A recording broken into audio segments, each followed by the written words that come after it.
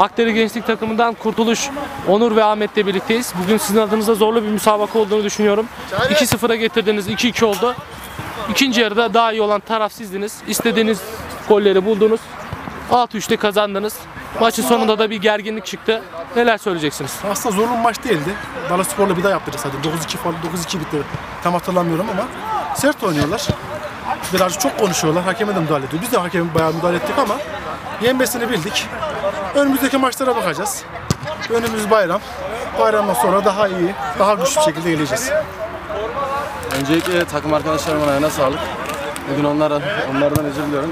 Maçın başında biraz pozisyonlar kaçırdım. Onları harcadım atsaydık daha farklı olabilirdi. Ama sağlık olsun lider olarak bayrama gireceğiz inşallah. Bayram sonu tam hızla devam. İyi rakiplerimizi bekliyoruz. Rakibimizin de ayağına sağlık.